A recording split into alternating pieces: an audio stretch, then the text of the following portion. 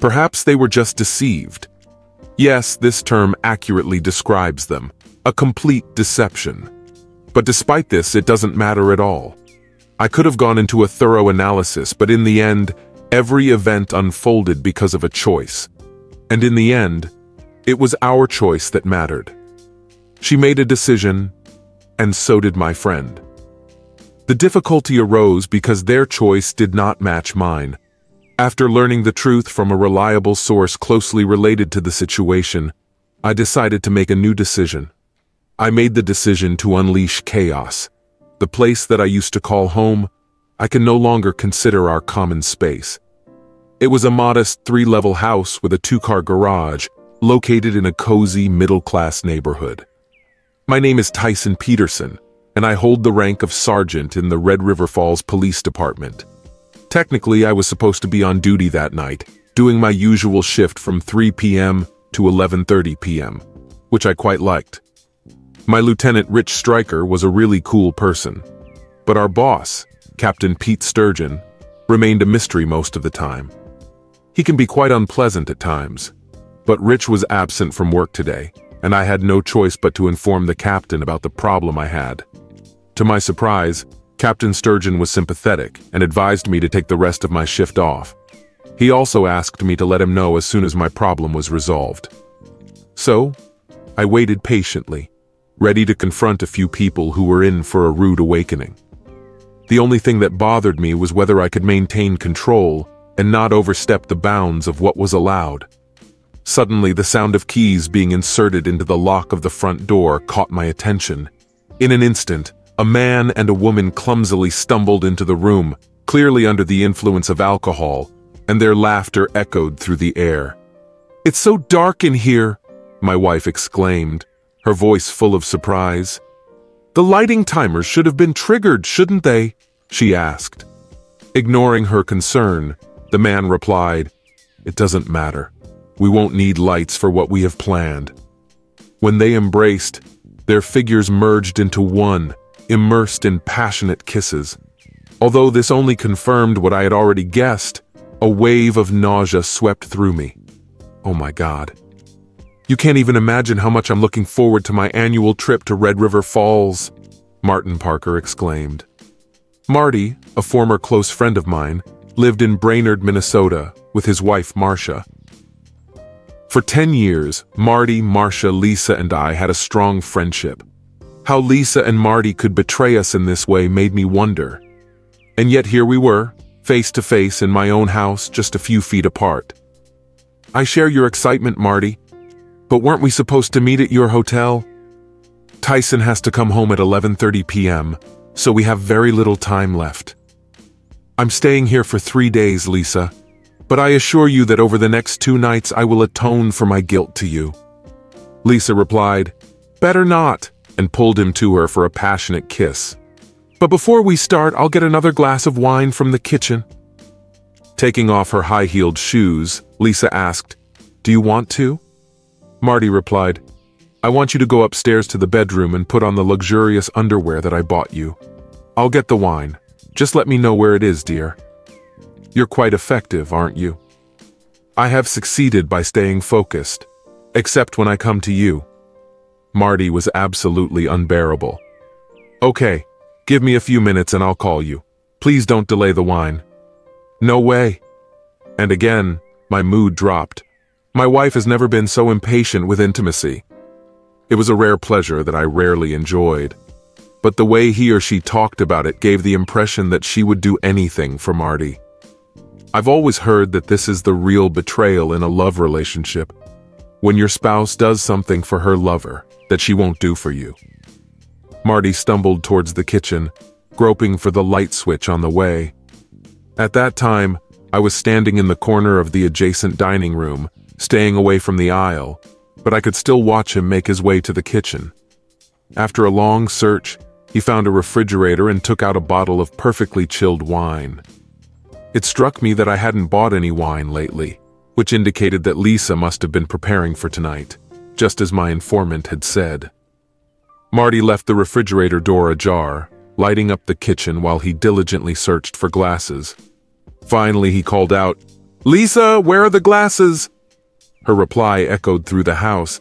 In the top cupboard, to the right of the dishwasher.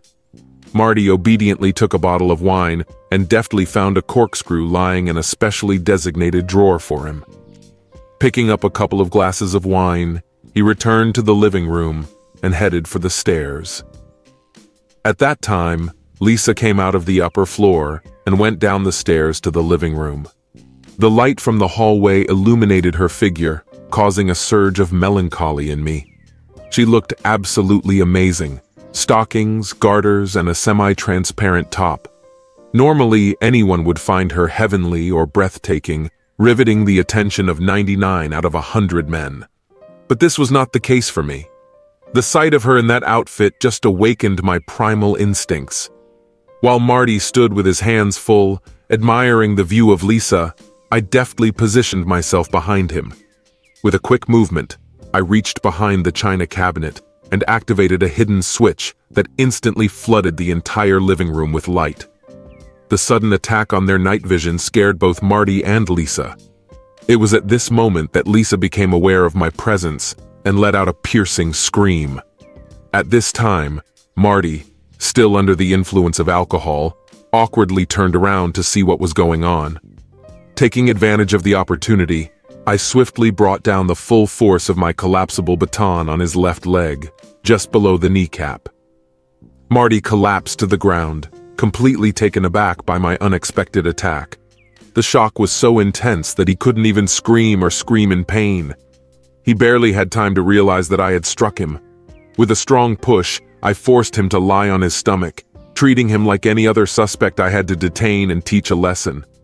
Lisa's screams could be heard amidst the chaos. Lisa, please, I need you to calm down, I shouted, trying to regain control of the situation. If you don't stop screaming right now, the consequences could be serious. I promise, I will hit you in the face so hard that you will feel dizzy for a long time. Do you understand me? Surprisingly, Lisa immediately stopped screaming and just nodded. She was very scared and trembling uncontrollably. Suddenly, she felt the need to be modest and quickly covered her intimate area with trembling hands. Marty tried to roll over, still suffering from knee pain. Tyson? Is it really you? Oh my god. I hit him in the face several times, causing his nose to break. Lisa begged me to stop, fearing for his life. Ignoring her, I stood over Marty and watched him try to breathe. His nose and several teeth were badly damaged, but the bleeding was not life-threatening. But it was clear that we would have to clean the carpet as soon as this ordeal was over. Lisa begged me to stop. Please, Tyson, stop it already. Let me determine for myself when things have gone too far. Tyson, I swear it's not what you think. Come on, Lisa. Are you seriously going to use that hackneyed excuse right now? I couldn't believe Lisa's attempt to downplay the situation. How do you think I can believe that everything is not as it seems? How could I be here at this very moment if nothing was happening here? Lisa stood in horror, desperately trying to find a way to downplay the seriousness of the situation. But she had no choice. There was no way to erase or reduce what had been happening for the last three years. Three. Damn it. Years. Marty constantly planned his short three-day business trips to Red River Falls for the days when he knew I would be busy at work. He could only find out about my schedule through my beloved wife Lisa. Tyson, Marty said, trying to get up and spitting blood. It's not as serious as it seems, I swear. It's just a harmless fantasy. Nonsense, Marty, I replied. Both of you are far from convincing. You both have to admit that I know the full truth and nothing more.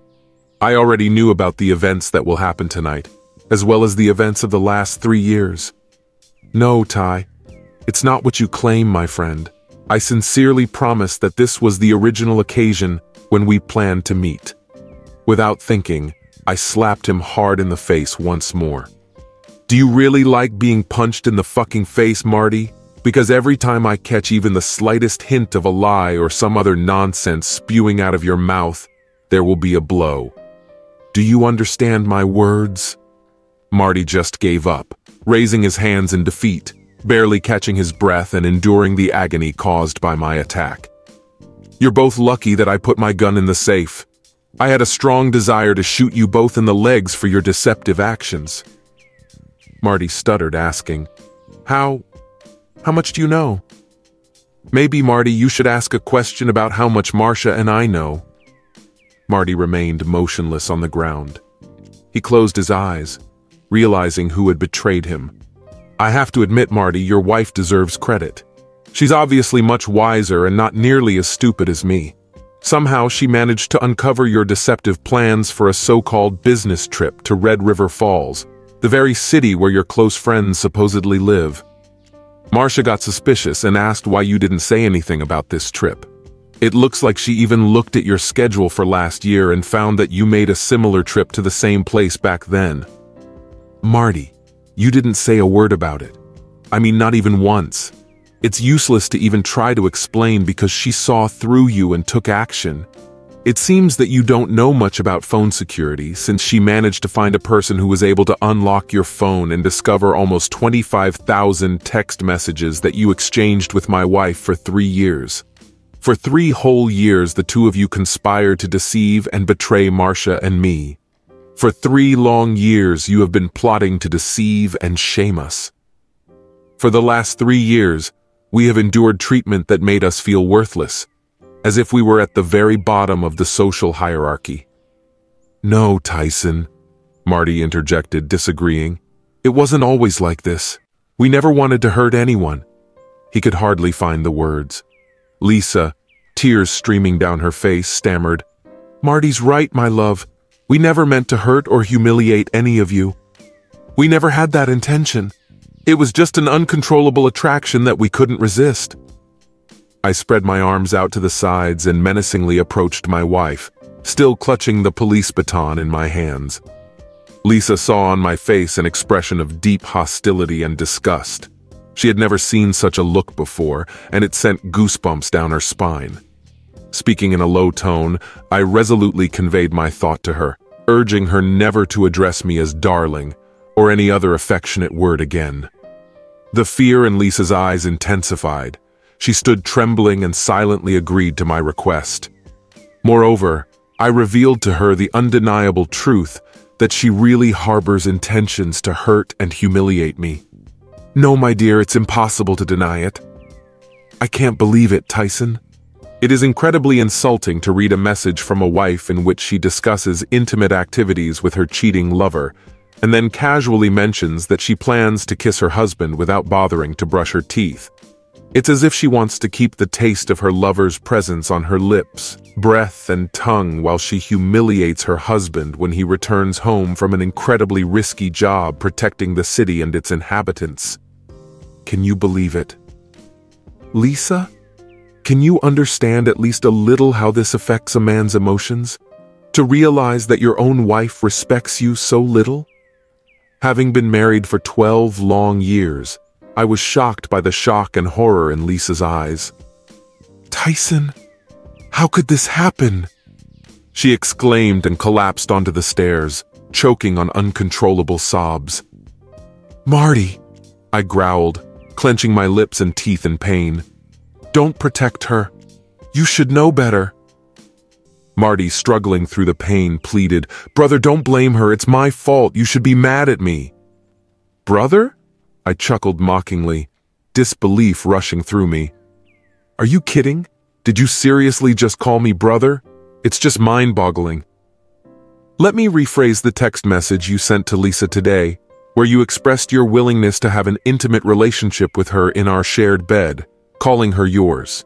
I would like to remind you of how you even mentioned that you would like to take it one step further by doing similar activities on my side of the bed, forcing me to sleep in a mixture of your and Lisa's bodily fluids. Does that seem brotherly to you, you idiot?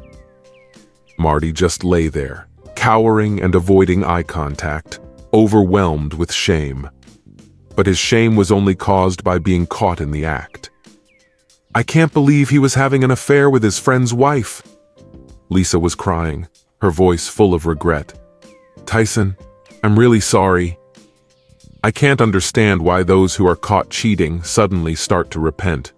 It surprises me how they, while indulging their selfish desires, do not think about the consequences and what harm they can do to their relationship. What should we do now, Ty? Marty stuttered, holding a handkerchief to his wounded face. I walked up and down the room for a while, trying to collect my thoughts. Listen carefully, Marty, I said, a threat in my tone. I've been thinking about this situation in my mind. Can you get the gist of it?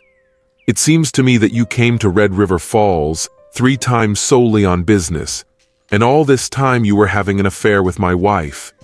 If my calculations are correct, that makes three years and three business trips, for a total of nine days. Does that seem accurate to you? Marty nodded, visibly worried and not understanding where I was going with this. Intrigued, I decided to continue. Apparently, during your nine-day stay, you had a daily relationship with my wife, as evidenced by more than 25,000 text messages. Based on this incontrovertible evidence, it can be assumed that you had an intimate relationship at least two to three times a day during your visit. Given the rarity of your annual visit, it's understandable that you took the opportunity to maximize the time you spent together. Moreover, judging by your text messages, you even bought Viagra to ensure a proper rest. Thus, it can be concluded that during each annual visit, you had a total of nine intimate contacts that lasted for three days, three sessions per day. From my point of view, you owe me 27 cruel blows for sleeping with my wife 27 times. Ty shook his head vigorously, denying the accusation.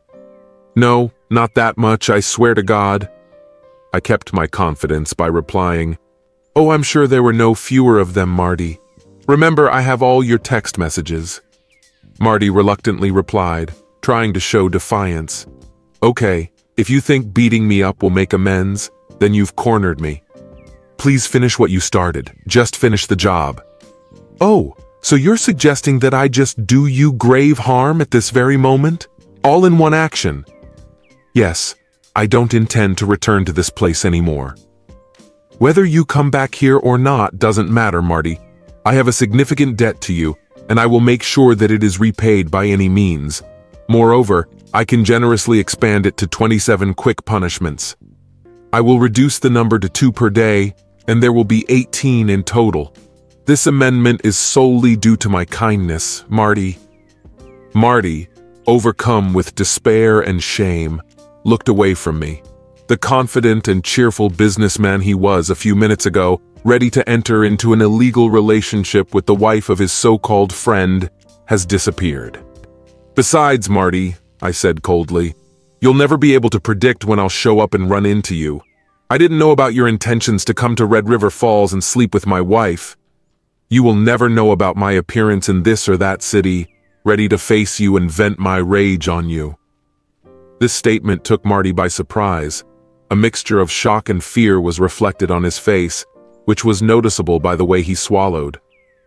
You won't know when, where, or how I'm going to follow you, but rest assured, Marty, I'll find you. Make no mistake, I'll find you and you'll feel bad. Moreover, I intend to do it 18 times.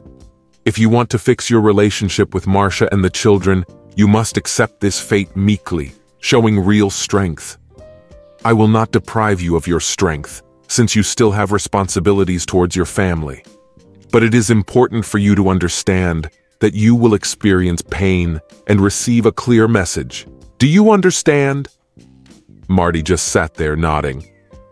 Now please get out of my house, you despicable, worthless liar.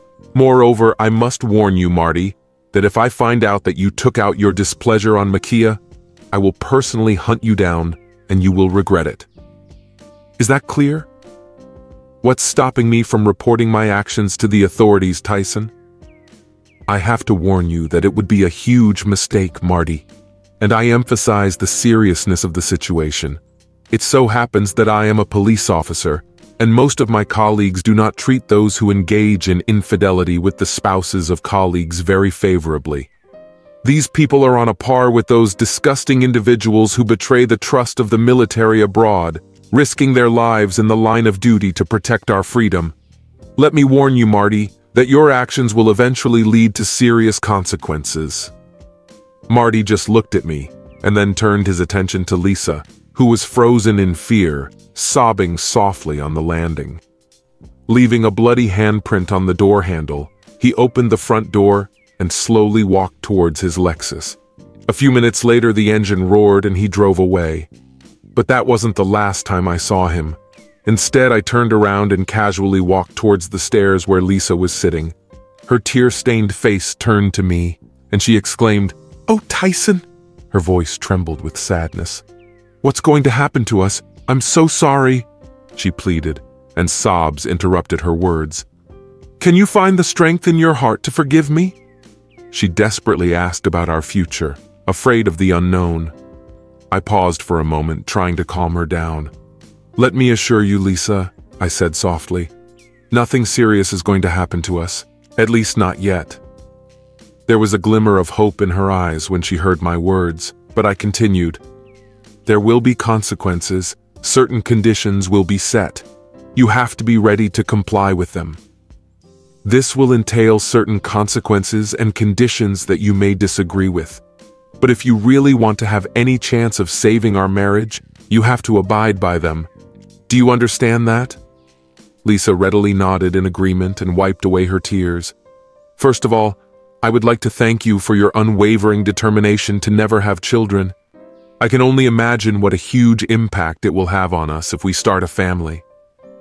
I understand that too, Lisa replied. I think I'm grateful for this aspect as well.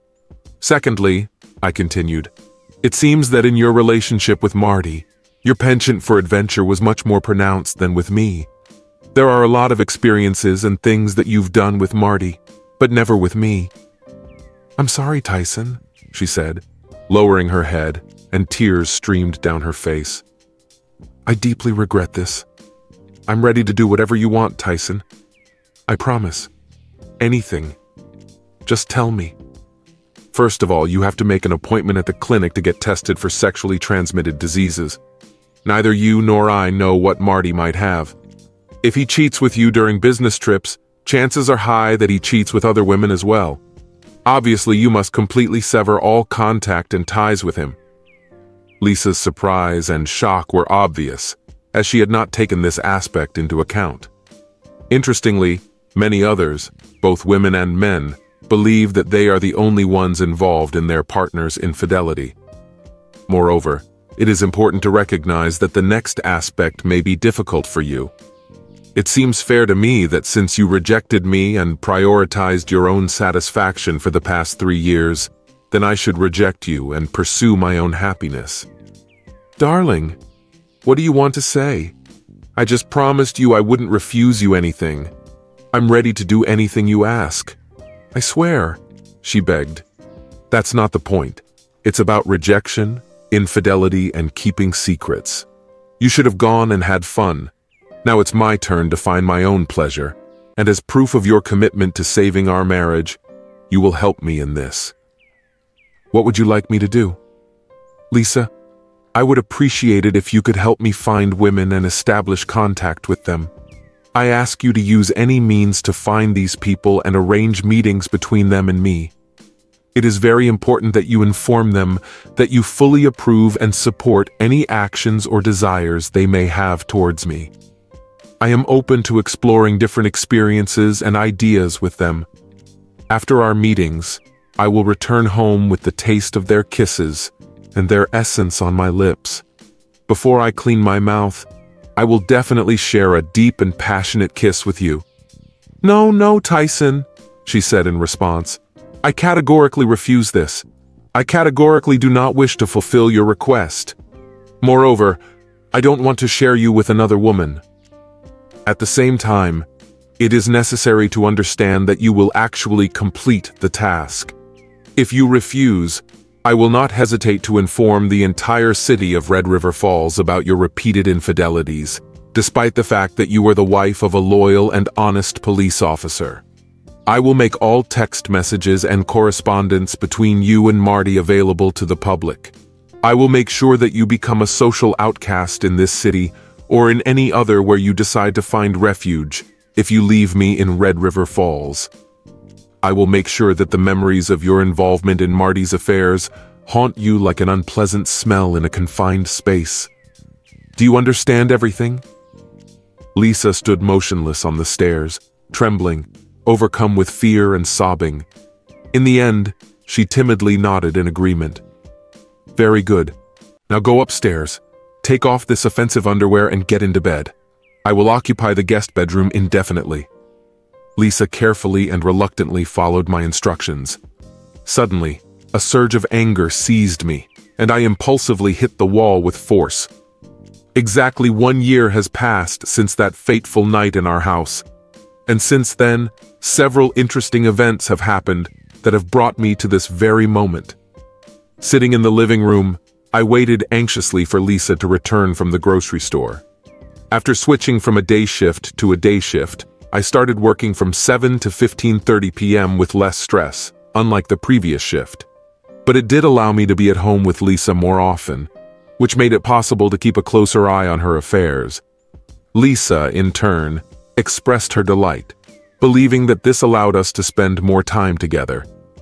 Despite the periodic contractions and moments of sexual scarcity, she sometimes complained, but immediately fell silent before I had to prove my superiority and remind her of the circumstances that led us to this moment.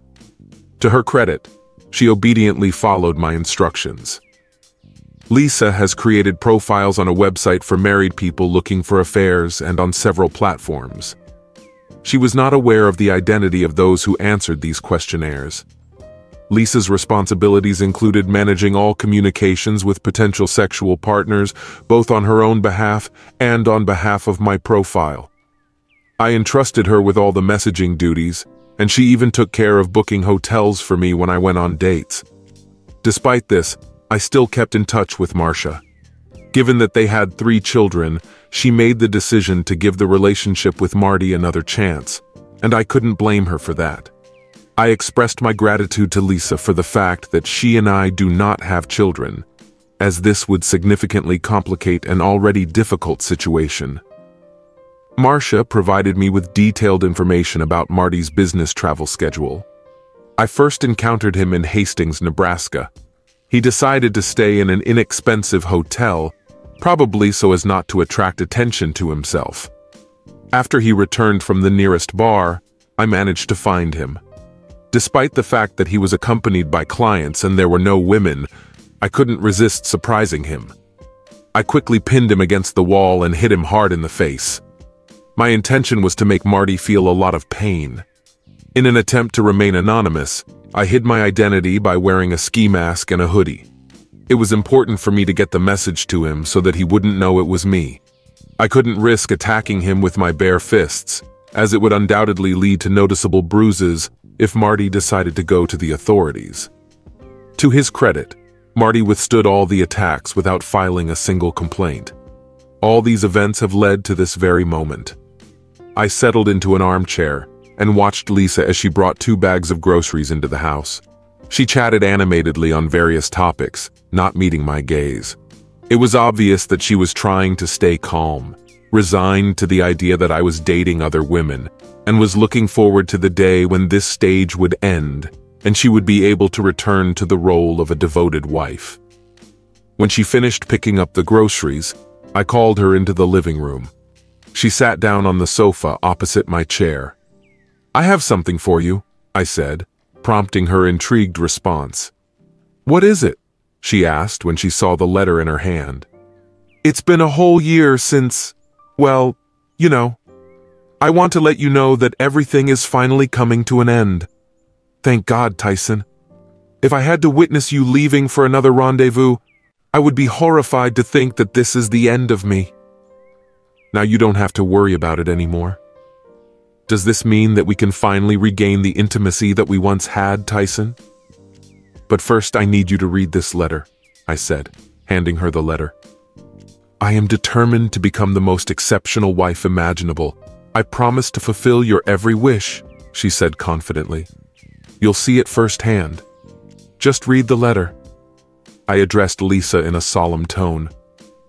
An enthusiastic smile graced her face as she eagerly opened the envelope, believing that the worst was over and she could finally move forward. But the smile quickly faded as she delved into the contents of the first page. What? She screamed, jumping to her feet abruptly. What is this? A divorce petitions? Tyson, what is this all about? Are you kidding me? Lisa, this is not a joke. I want you to understand it's over between us today. I can't believe that you're really doing this to me, especially after all the effort I've put into building a relationship with you. Do you remember how I watched you leave this house and cried every minute, knowing that you were walking with those girls that I had to put a lot of effort into finding for you? And now you're telling me that you want to get a divorce.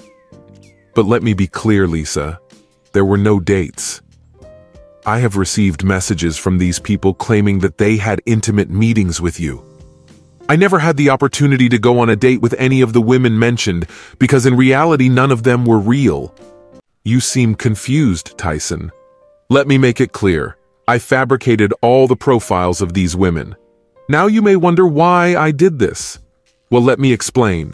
Firstly, it is very rare for men who visit dating sites for married people to actually engage in extramarital affairs. In addition, the number of real women registering on these platforms is extremely limited, and most of the women's profiles are fraudulent. That's why I decided to create my own fake profiles that mirror the rest. Moreover, entering into intimate relationships with other women would not only put me on the same level as you, but would actually make me worse than you.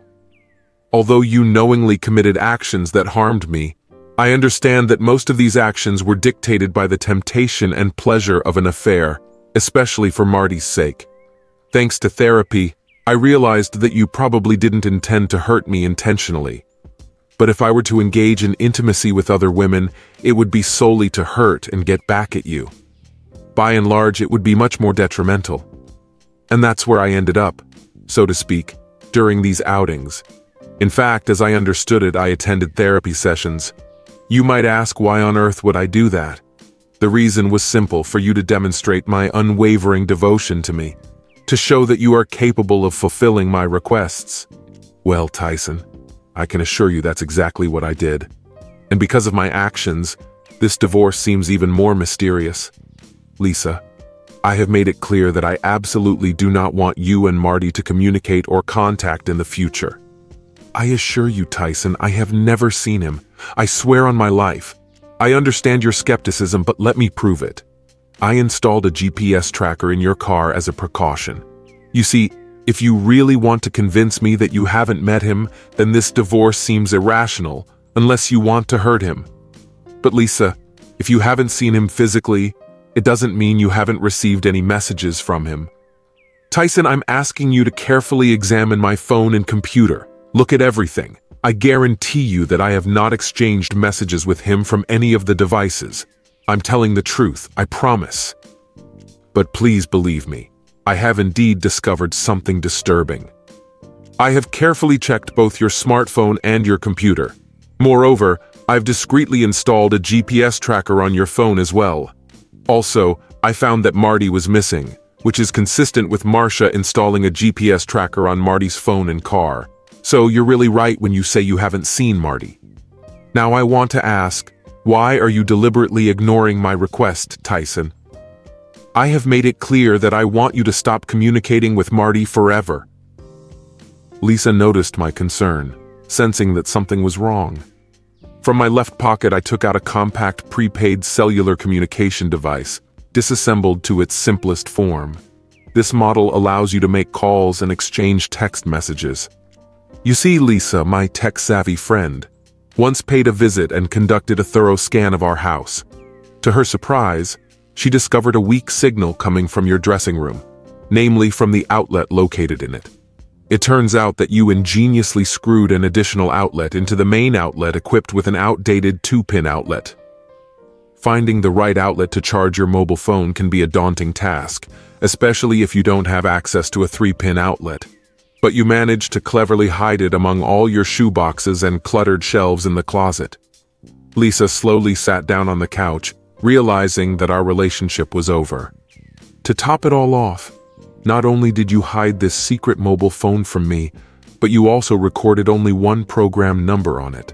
Do you want to guess whose number it is? Lisa couldn't bear the weight of her guilt, tears streaming down her face as she silently shook her head in shame. I specifically expressed the wish that you refrain from any communication with him. I was very worried that you would hurt him, she cried, overwhelmed with emotion. In the end, I really hurt him, and repeatedly. But your main concern should have been following my instructions to save our marriage. But you ignored it. This means that you no longer see the point in preserving our marriage, as evidenced by the divorce papers that you are holding in your hands now. I apologize, Tyson, for my earlier statement. Lisa, but I no longer hold the opinion that we are incompatible in this matter. Let's look at the situation from the other side. We are both relatively young, we are over 30, and we have the opportunity to do things that really bring us satisfaction. In my case, I've always wanted to have children, while you've never shared that feeling. Therefore, now I can look for a partner who either already has small children whom I can support and raise, or I can have my own children with her. No, Tyson, please understand that if having children is your desire, then I am ready to make this sacrifice for you. What? Are you kidding? You've never expressed a desire to have children before. If that were the case, we would already have one or two children, and we definitely won't have children just to save our marriage. That would be the stupidest and most irresponsible decision we could make. Trust me, this is the best choice for both of us. And besides, now you have the freedom to pursue Marty anywhere, anytime. Why do I need Marty? We've grown apart, and he's still married to Marcia. But it won't last long. If it's any consolation, although I doubt it will, Marty is getting the same divorce papers as you right now. Well, congratulations.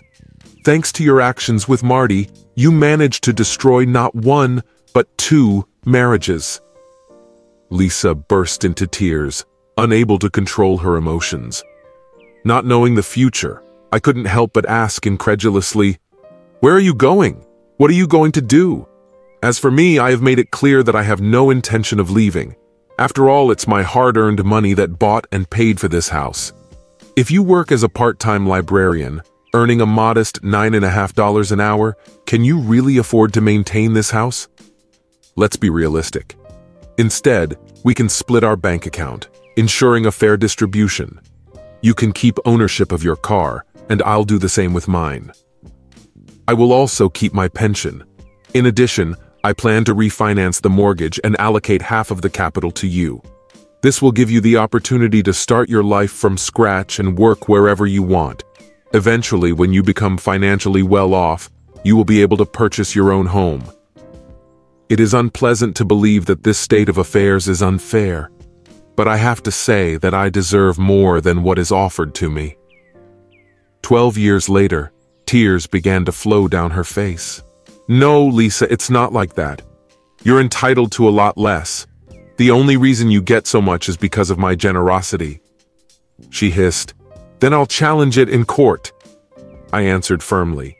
If you decide to fight me on this issue, you will not succeed, both metaphorically and literally, if you insist on a trial. I solemnly promise that I will not hesitate to inform the public about all cases of communication between you and Marty. I am fully prepared to bring Marcia, who will willingly testify in court, expressing all the pain and devastation that you have caused by your actions, branding you as a licentious and destructive person. In addition, I will make sure that your parents, brothers and sisters, as well as our nephews and nieces, watch the whole spectacle with amazement and disbelief. You will be symbolically, if not literally, marked with shame and shame. Is my intention clear to you? I will make you feel the urge to retreat into the deepest abyss in Mason County. You'll never want to see the light of day again. At that moment, a car horn sounded outside. Pack your things. Your sister Emily has come to pick you up. Take with you only what is required for a few days. The rest of the things can be picked up in due time, when we divide everything equally. I'll even arrange a day when I'm busy with work so that you don't have to run into me. Lisa tried to keep her composure and packed her things. Emily, her sister, with whom I have always had a good relationship, was the only one I trusted about this affair. At first, Emily had difficulty believing me, which was to be expected. but her disbelief quickly turned into shock when I presented her with the numerous text messages Lisa and Marty had exchanged. I asked her to keep this information strictly confidential and stressed the importance that she not tell the rest of our family or parents about it. I explained this by saying that I want to gain an advantage during the upcoming divorce process. Fortunately, my risky move seemed to pay off.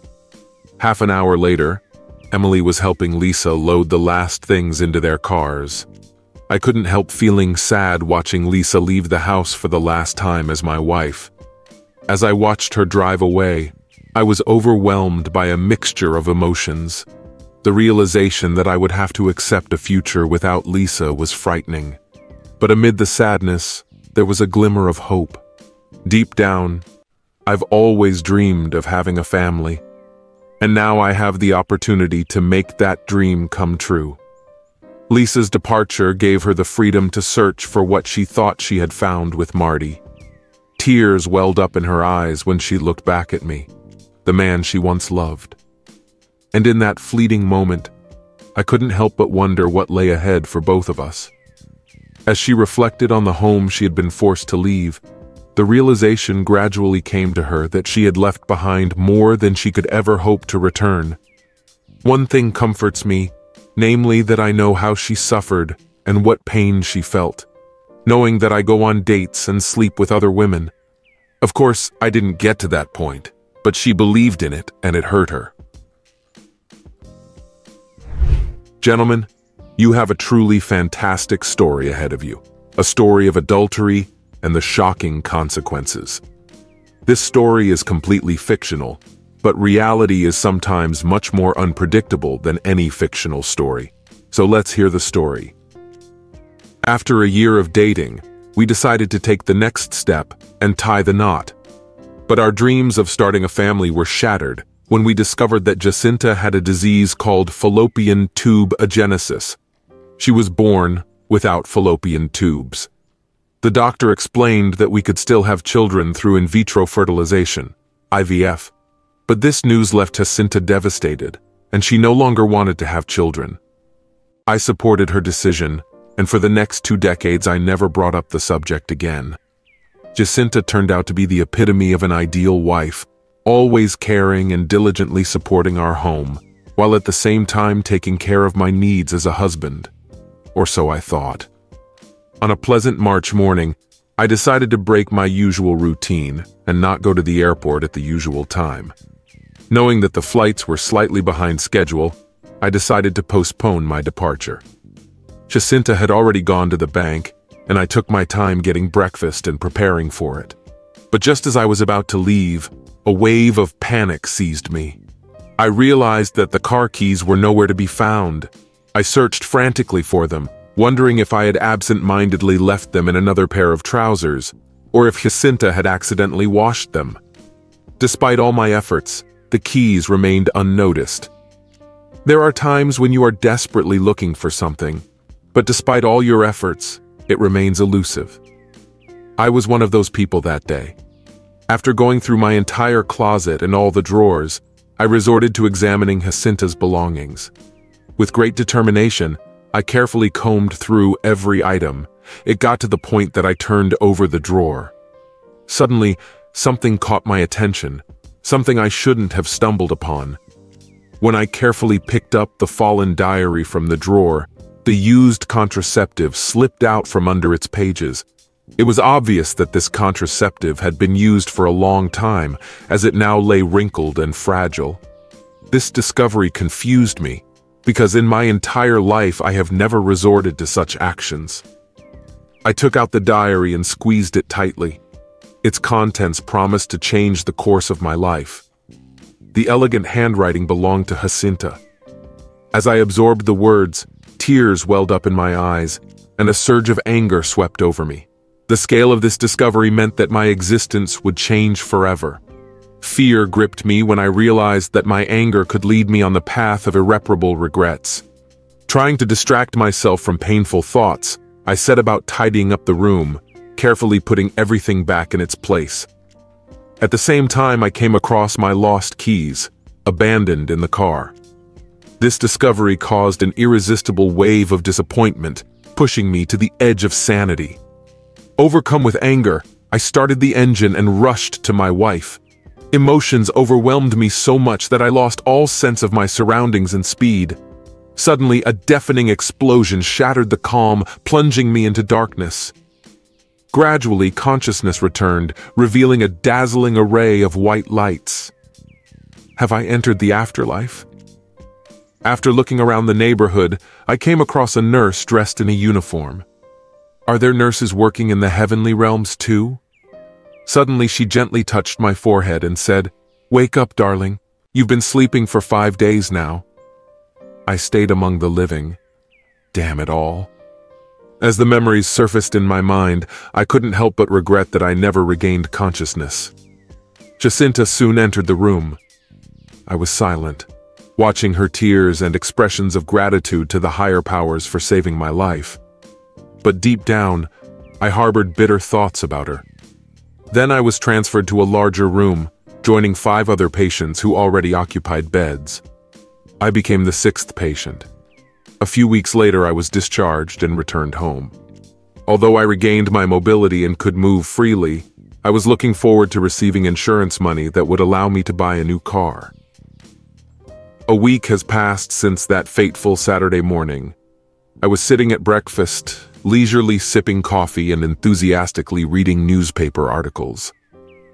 Suddenly, an article caught my attention, which made me ask my wife, Have you ever heard of Jose Alvarez? It seems he works at your bank. Curious, she replied. And what is known about him? I told her the grim news. He was found dead last night. Cartel members may be involved in this. Realizing the gravity of the situation, she added, According to the police, it may also be the work of a jealous husband. Apparently, he had a lot of women, and it is possible that one of their husbands decided to take revenge. I noticed my wife sigh and leave the room. Smiling, I followed her to sort out the situation. Turning to my wife's diary, I found that a young man named Jose showered Jacinta with admiration, commenting on her appearance and impeccable grooming. According to her notes, she suspected Jose of excessive flirting, which raised concerns about his intentions to seduce her. But she reassured herself that this would never happen.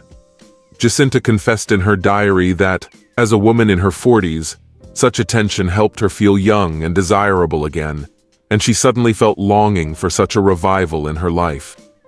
In her diary, she wrote that she urgently needed to share her thoughts, unable to hold them back any longer but it seemed impossible to confide in anyone, as some of her close friends boasted of flirting beyond the bounds of what was allowed. She always severely reproached them for even allowing the thought of reciprocity, knowing full well what chaos and disastrous consequences a messy divorce could lead to. As a result, she was unable to confide in her husband, and then she had to resort to the help of a diary. Deciding to take a cautious approach, she made a promise to herself to keep light-mindedness in her notes and make sure that things didn't go too far. She said I was incredibly boring and compared me to the monotonous staring at a photograph of an albino cow lost in a snowstorm. In addition, she mentioned that she hardly notices my absence during the Wednesday evening bowling game, which I recently joined. It seems that the lack of thrills in her life is driving her to the brink of insanity. I looked up from the diary and wondered aloud why she hadn't told me about her feelings earlier. I had no idea that things were so bad for her. It's time to come up with a few ideas to bring a little liveliness to our relationship. When I resumed reading, I moved from sympathy to melancholy. Furious and hurt, she began to justify herself by saying that a fleeting affair with Jose would bring a revival to her everyday existence. She had the audacity to claim that I would even benefit from it. As if that wasn't enough, she came up with a string of pathetic excuses, all of which were completely meaningless, to justify her destructive desires. In the end, she came to the conclusion that if she was extremely careful and kept absolute secrecy, she would be able to commit this vile act without any consequences. They cheated and arranged a meeting, looking forward to the thrill that they thought was waiting for them.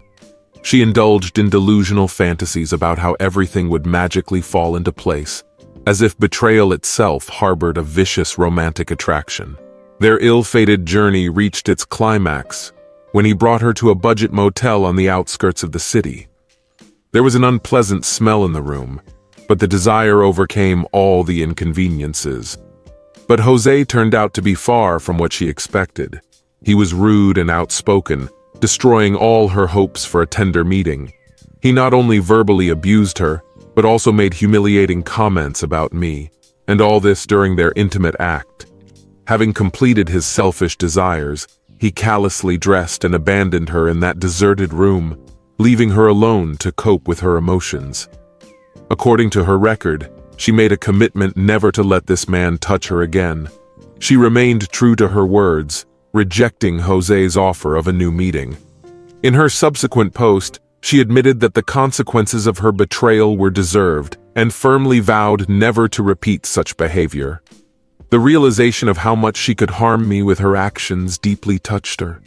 She made a sincere promise to turn over a new leaf and become a better wife for me, striving to improve in all aspects. The irony of fate is that she cheated on me, but I couldn't help but remember how kind she was to me after that. The woman who lied seemed to be trying to absolve herself of the blame. Maybe she learned a lesson, or maybe she didn't. When I approached my wife, she was sitting on the edge of our bed, holding a napkin in her hands. Judging by her reaction, I can assume that this was the man we were talking about. I didn't think you were particularly close to him. How well did you know him? I asked, subtly adding to her discomfort. He was just a colleague who worked for us for a while. He may not have been the nicest person in the office, but he certainly didn't deserve such a tragic fate. My thoughts were also with his wife and children, who undoubtedly did not deserve this. Based on the meaning of the article, it can be assumed that he had a reputation as a serial womanizer.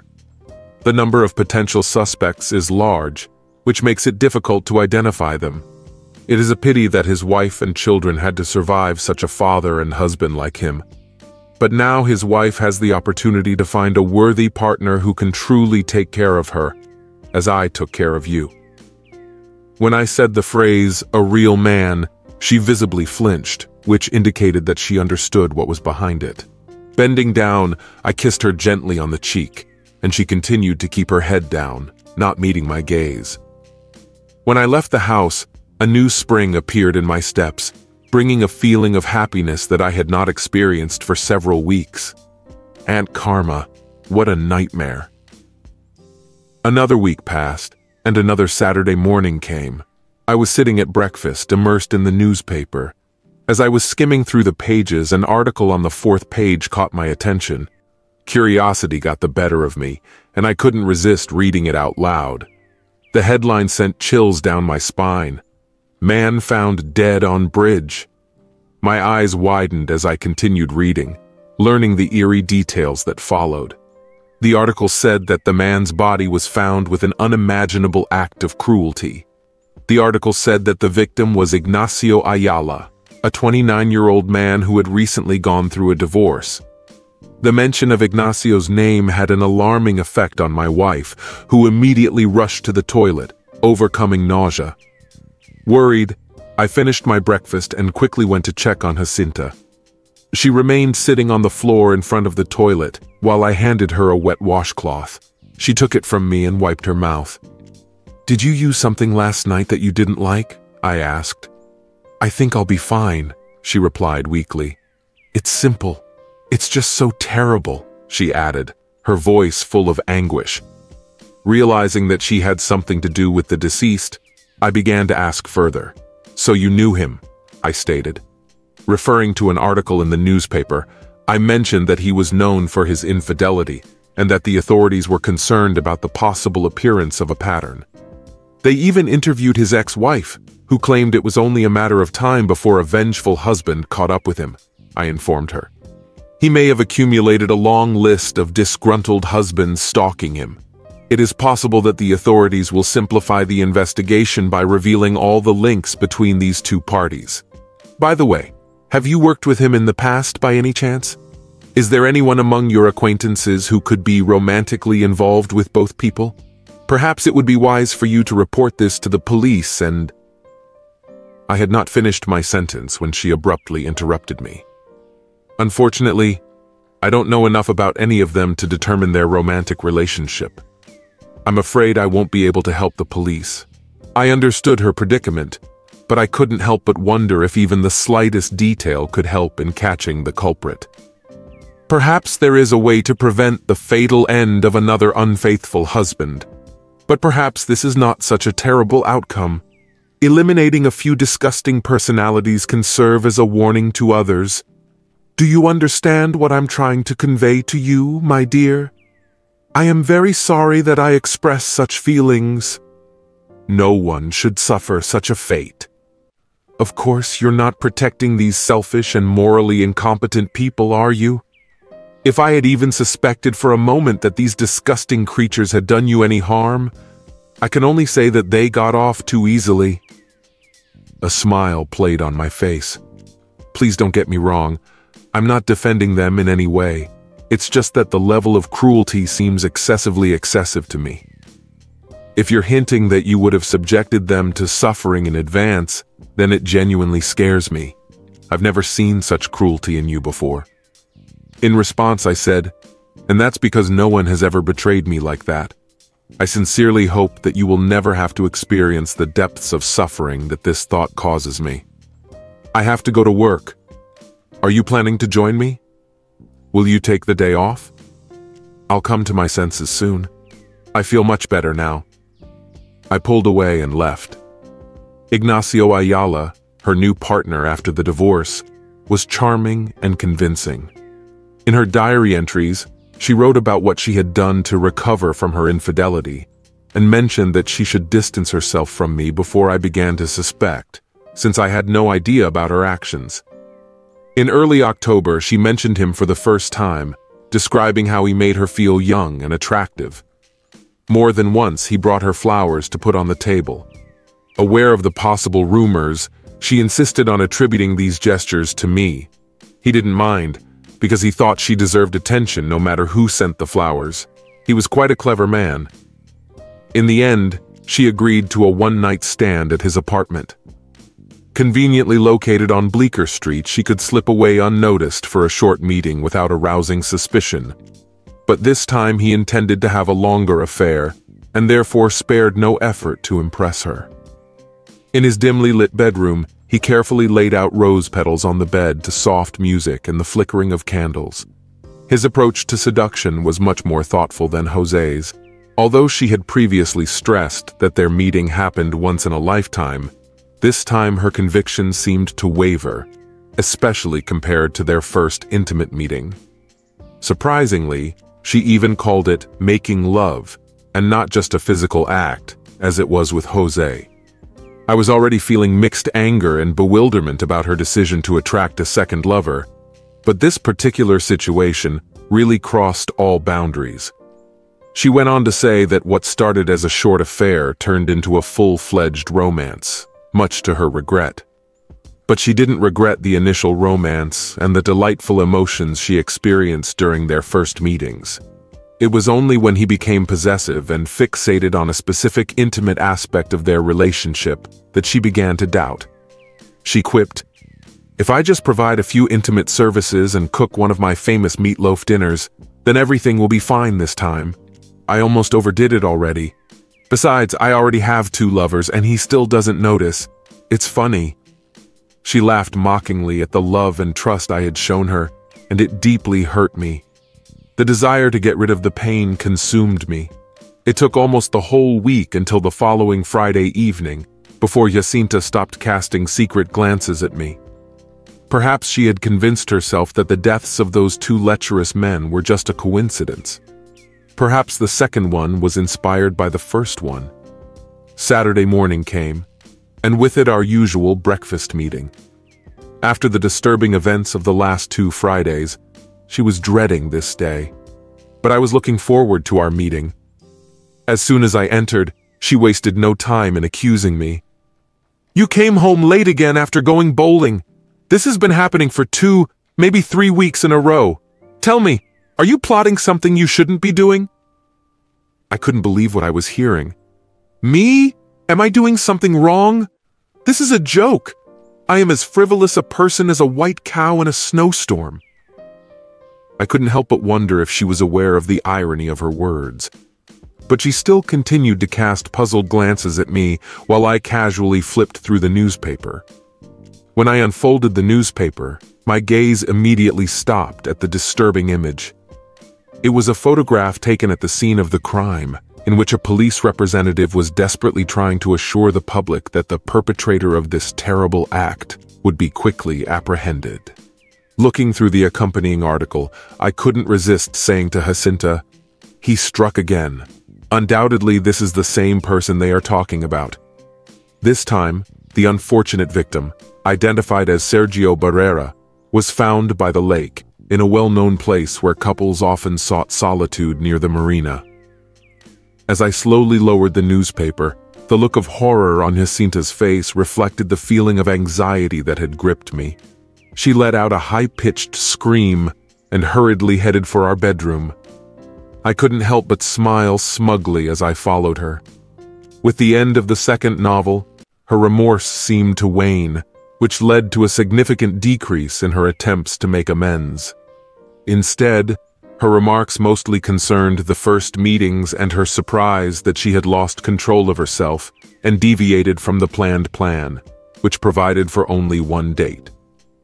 As a result, the diary entries became scarce again until the end of March, when another young man paid attention to my devoted wife. Just 10 days later, he successfully persuaded her to join him for a lunch date in his car. They parked in a secluded area known for its privacy and quickly finished their meal. After that, they began to kiss passionately, causing her to feel a sense of youthful delight. As their relationship developed, she became familiar with the art of reclining the passenger seat, allowing them to indulge in intimate moments right in the car. Although she experienced intense pleasure on two occasions, the added excitement of being caught intensified their encounters. Despite the fact that she tried to keep herself in control until the end of the working day, she could not get rid of the nagging fear that someone would find out about their secret date. On the way to work, she tried to study herself carefully. Whenever they met, she enthusiastically talked about her feelings of mind-blowing sensations. But she decided to end this affair when requests for too unpleasant things became too frequent. Naturally, after enjoying the meal, I followed her so that my breakfast would not be wasted. When I entered, she was able to recover from a crying fit. When she heard my presence, she raised her head, and I saw in her eyes an irresistible feeling of horror. Does she really think that I'm responsible for the deaths of her lovers and that she might be next? If that's the case, then I can't help but silently laugh at her absurdity. Judging by your reaction, it looks like you knew him too. Damn, you've already got three cases out of three.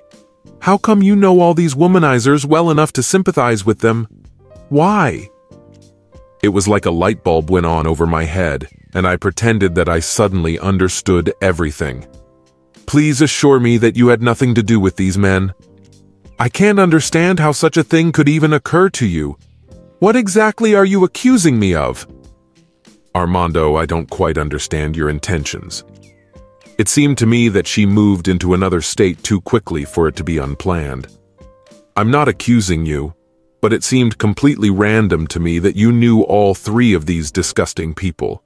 I was just making fun of you because I know that you value and respect me too much to jeopardize our wonderful years together for a fleeting moment of forbidden pleasure with these lying people I was just struck by the fact that you know all three well enough to be upset about their deaths. It's not about them specifically, but about the severity and cruelty. Why didn't you react until I mentioned Sergio Barrera's name? Up to this point, you looked calm. It seems like this was a turning point for you. She looked away, showing that her emotions were running high. Deep down, I was desperately hoping that this time it would be a complete stranger. but when I found out that my company was dealing with his firm and I ran into him several times in the office, I probably couldn't put up with it anymore. Not that I had a close relationship with him, but the fact that it happened to a man I knew hurt me. I suppose this is understandable.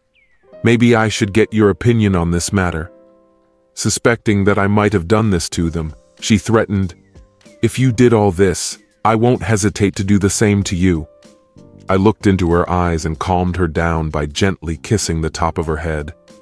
My dear, if I even suspected that you were involved with one man, let alone three, you wouldn't be sitting here and interrogating me. It's time for me to leave. Goodbye. I walked out of the room with a confident gait, knowing full well that her words pierced me even deeper and twisted the knife even more. The thought of her accusations amused me, and I couldn't help laughing on the way to work, replaying all this nonsense in my mind. That Friday night, Jacinta patiently waited for me to return from bowling, deciding to confront me. It was a little later than usual, although not as late as the near midnight arrivals over the past few weeks. But sleep was out of the question, as her nerves were very tense. This was understandable when you consider that her three previous lovers had tragically died in the last three Fridays, and each of them met their unfortunate fate near the place where they had intimacy with her. Even more worrisome was the fact that their deaths were somehow related to their personal styles, as evidenced by their lifeless bodies. When I walked through the door, Jacinta examined me with great care. I could smell beer on my breath, but there was no blood on my clothes. Why are you still awake, darling? I asked. Do you usually sleep soundly already? Is something bothering you? Maybe you bought too many clothes this week? I asked. She denied excessive spending and attributed her discomfort to mild indigestion. Ten minutes later, she decided that I had fallen into a peaceful slumber, unaware of her secrets. She reflected on the irony of my expression, innocent's dream, suspecting that I knew about her past adventures, and assumed that I could actively seek out her former lovers on Fridays, despite the fact that I was supposed to have fun.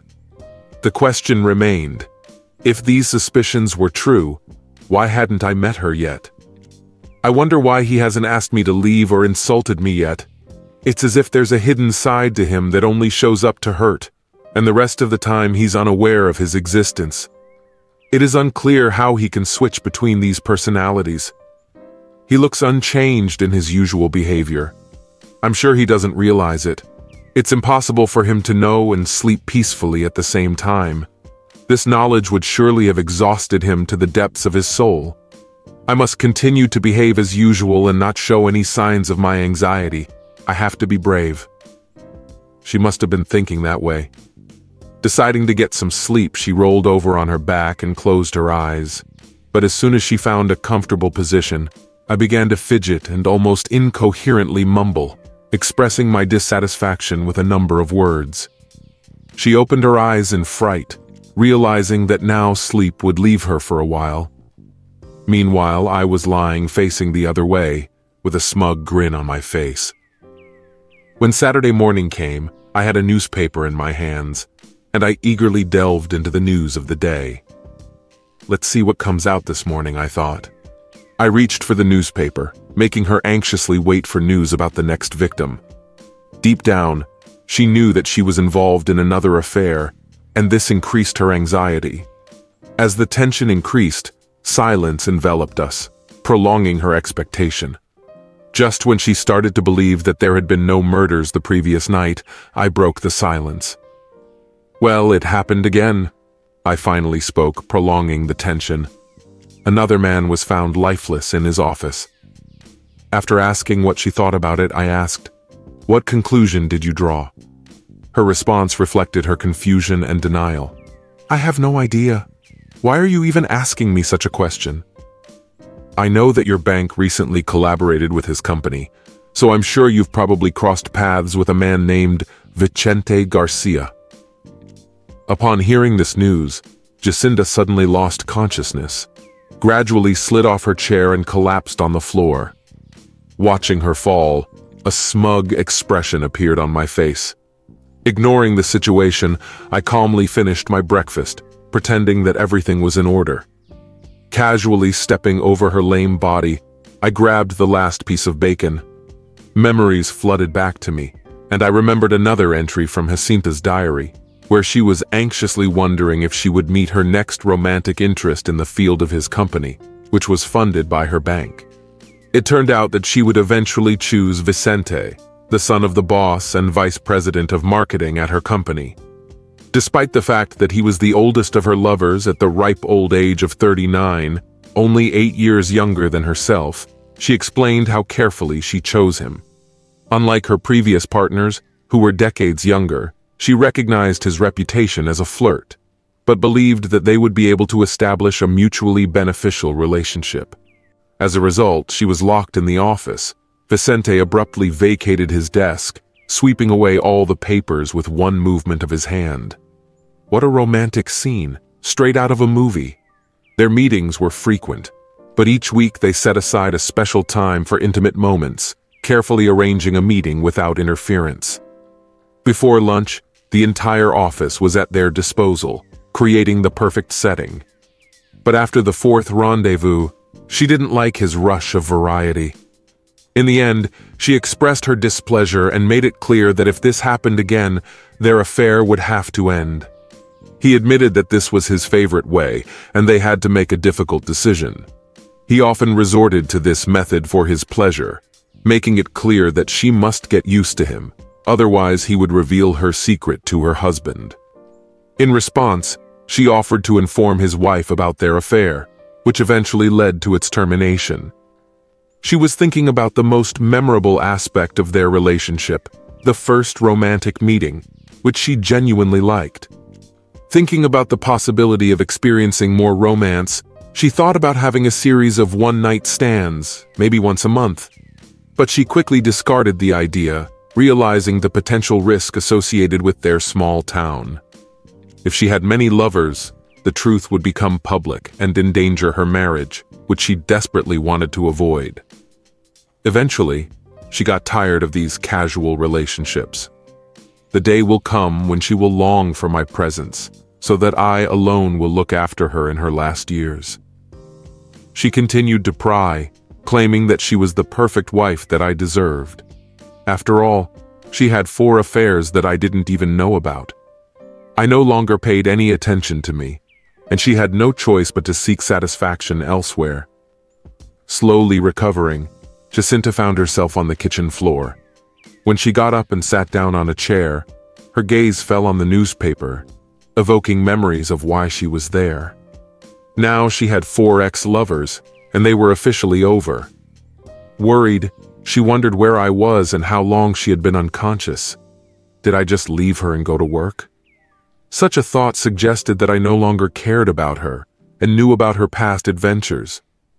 Just as she was pondering these questions, I came into the kitchen with a wet washcloth in my hands and handed it to her. How long have I been gone? What is it? she asked. It looks like you managed to meet all four of his victims. It seems like an extraordinary coincidence, doesn't it, dear? But it's just a coincidence. Are you absolutely sure you don't have information that could help the authorities find the culprit? I asked teasingly, knowing that they would be very grateful for this. I really don't know anything, please just leave me alone. Calm down, I was just joking with you. If you can't handle a joke, it's going to be hard for you to tolerate me during our retirement. You need to put in some effort too. Saying goodbye to her, I gently stroked Jacinta's head, trying to calm her down a little. She had been visibly exhausted and on edge all week, her nerves easily shattered by the slightest noise, such as the sudden hum of the stove. Meanwhile, I behaved as if everything was going as usual, except for one essential detail. Our intimate life had stalled, having lost the usual initiation. When I went to the party on Friday night, Jacinta was probably thinking a lot. Could I have known about her infidelities? Her thoughts were whirling through her head. She knew perfectly well what a passionate nature we shared throughout all the years of our life together. The sudden ringing of her mobile phone interrupted her train of thought, and that was her current lover, Pancho Aguilar. Hi, beautiful, I can't wait for tonight, he said. Is he still ready to go bowling? She hesitated, not knowing if meeting him would be a wise decision. I have a feeling he might be hiding something, she replied cautiously. Maybe it's better to take a break for now? He reassured her by calling her paranoid, but offered a solution. Don't worry, my love. To calm you down, we'll let him go bowling first. As soon as he leaves, I'll pick you up and we'll follow him to the club unnoticed. As soon as he's inside, we'll go home as soon as possible and start the party. You know how much I want to be with you. I guess you're right, Pancho. I had similar thoughts. Her rational thinking was undermined by a sense of desire from how amazing he felt when he was intimate with him.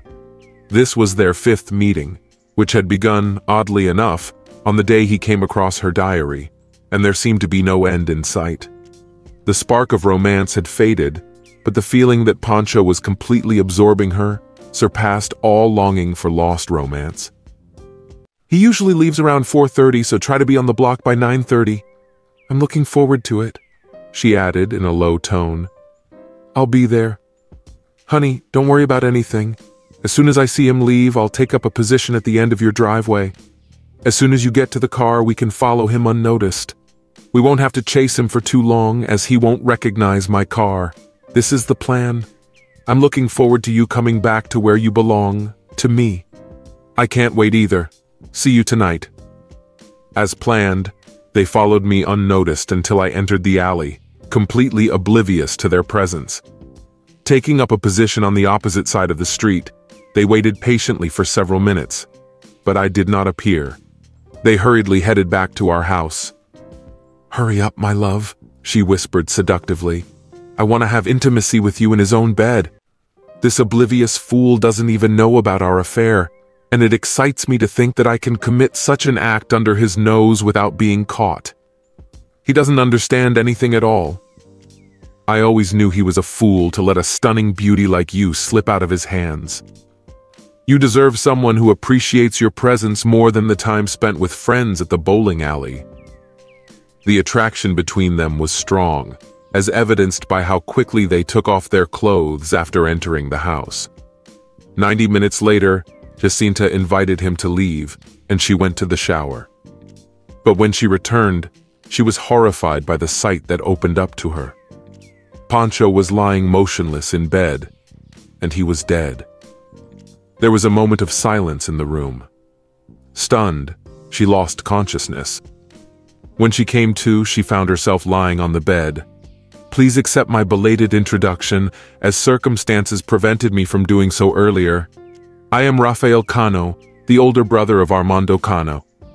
Speaking in a calm tone, he says that he saw his brother's condition during his stay in the hospital. Lying on the cot, he did not find out about Armando's identity hidden under the bandages. But there was clearly suffering in his eyes, although not related to physical suffering. I comforted him after the pain caused by your adventures. During our conversation, I cautiously asked for additional details, for example, about his regular Friday night parties and how he discovered your diary. Curiosity got the better of me, and the next day, while you were both at work, I broke into your house. I took the opportunity to read your diary by creating a duplicate for my personal use. With the information contained in it, I set out to seek justice for those who believed that they could enter into an extramarital affair without consequences, thereby overshadowing the sacred union. And now I'm going to call the police, and you're going to confess to all the crimes, Jacinta was in a state of shock. She didn't understand what was going on, but just waved her head. Soon the police arrived, and so did I. Rafael said that he came to visit us, and when no one opened the door, he used a spare key, which, as usual, lay under the flower pot. And when he entered the house, he heard a strong thunderstorm. Climbing to the top, he saw Jacinta and the dead Pancho next to her. Later, my wife admitted that she was the one who got rid of her lovers and was facing a life sentence. Have you ever thought about the mysteries of life? For example, how many angels can dance on a pin or how many stars exist in the vastness of heaven? I may not have the answers to these riddles, but I can shed light on another eternal question. How long does eternity last? This question torments many hearts, including mine. Unfortunately, the answer to it is not as encouraging as we would like. In my personal experience, eternity lasted only three weeks, five days, two hours, ten minutes, and fifty seconds, more or less. It seems that my naive belief in the eternal oath, until death do us part, was wrong.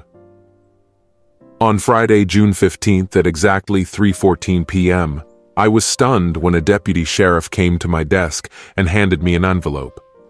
After saying just two words, You have been served, he quickly turned around and left the bank.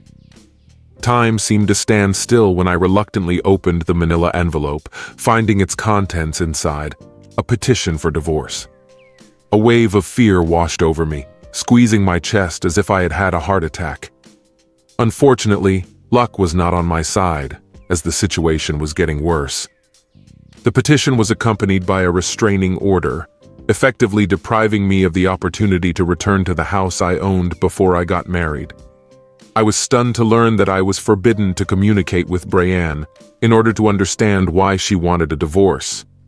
In court, my four-year-old wife said she feared for her safety if I contacted her. Interestingly, she managed not to mention to the judge that we had had an intimate relationship not once, but twice the previous night. More precisely, I made love to her, and she deceived and betrayed me.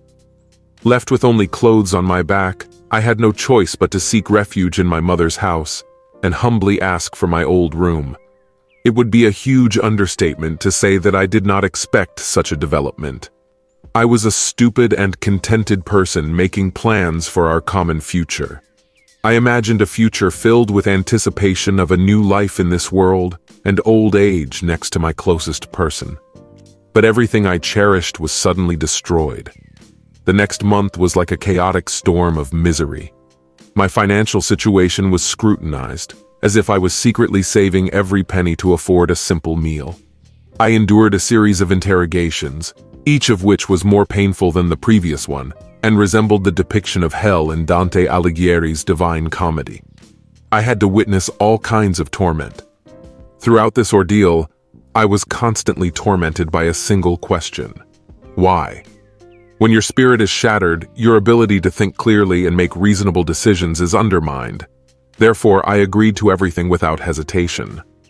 But I had one simple request for my future ex-wife, to answer my only question. Unfortunately, on the day of our court hearing, she did not have the decency to address me directly. Instead, her smooth-talking lawyer handed me a single sheet of typewritten paper, devoid of any personal touches. Surprisingly, this brought me some comfort as it confirmed my innocence. It became obvious that I had done nothing wrong.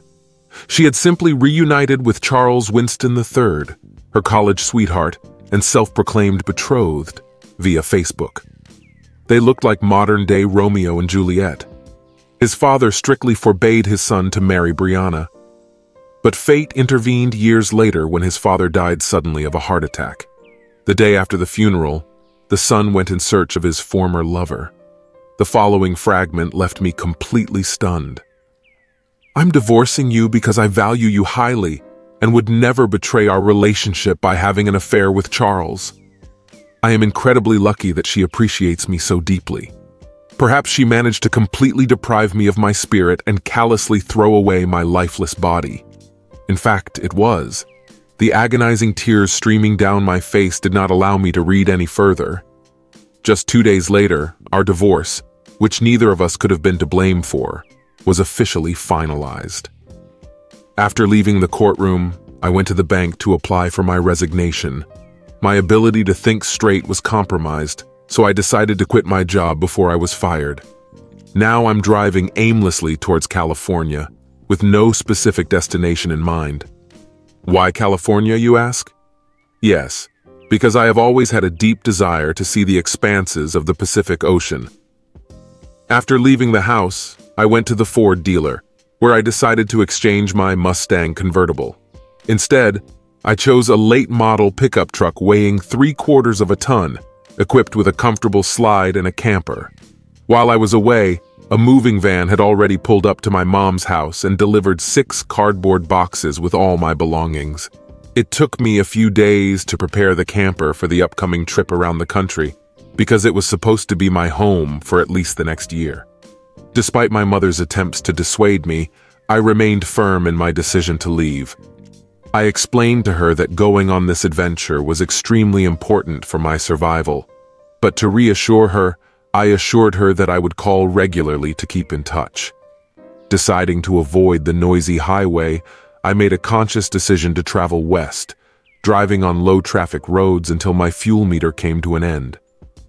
Curiosity consumed me, and I was looking forward to the mysterious turns that fate had prepared for me.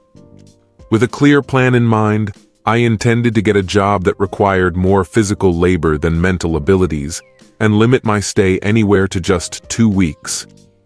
When the sun sank smoothly to the horizon, I arrived in a small town, which welcomed me with open arms. The main street opened up in front of me, decorated with a lonely, dilapidated establishment, masquerading as a bar, where you could also eat. My attention was attracted by a crudely written sign announcing that they needed help. Sitting down in an armchair, I drank a cold beer and started a conversation with the bartender, who also happened to be the owner of the establishment, about the possibility of employment.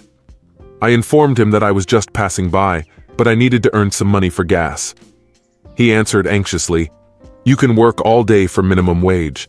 In return, you will receive food for lunch and dinner as well as any tips. But you'll have to pay for the beer yourself. I answered quickly, If you have a place where I can park my camper, I will gladly agree. Just let me know where I can put it on your property. After that, I'll put on this apron and start clearing the tables. That's how I started my new path by applying for this job. On the seventh day of my adventure, I met a woman. Maybe a dozen years older than me, but still quite attractive. That evening, I had an intimate relationship with only the second woman in my entire life. It was a pleasant experience, to say the least. Staying true to my promise, I left two weeks later. Phil, the owner of the place, handed me an envelope with money and assured me that I could find a job whenever I wanted. Over the next six months, I worked in 12 different establishments, including restaurants, snack bars, and dive bars, and met many women who sympathized with my story and tried to cheer me up. But then an unforeseen challenge came my way. A harsh winter in the Rocky Mountains. When I drove into an unnamed town in Colorado, the snowfall was so heavy that it blocked my view of the road.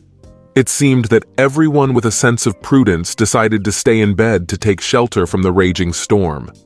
Among the gloomy surroundings, the only light source came from the police station.